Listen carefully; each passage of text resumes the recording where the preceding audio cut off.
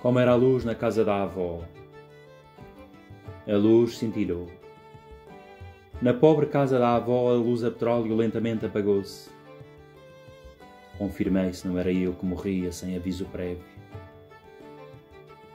Não eram sementes lançadas na terra da esperança, nem grãos que debaixo do sereno se abriam pela manhã. Todavia, serenamente esperei pelos passos seguros daquela mulher, que restabelecia sempre a felicidade da luz a todas as horas. Não falhou outra vez quem o esperava, como quando buscava no fundo do depósito da reserva aquela medida milagrosa, dádiva divina da alma, que o fogo consumia dentro dos meus olhos. Era a viagem impagável do sangue minha avó, trazia na abada do vestido a claridade do céu.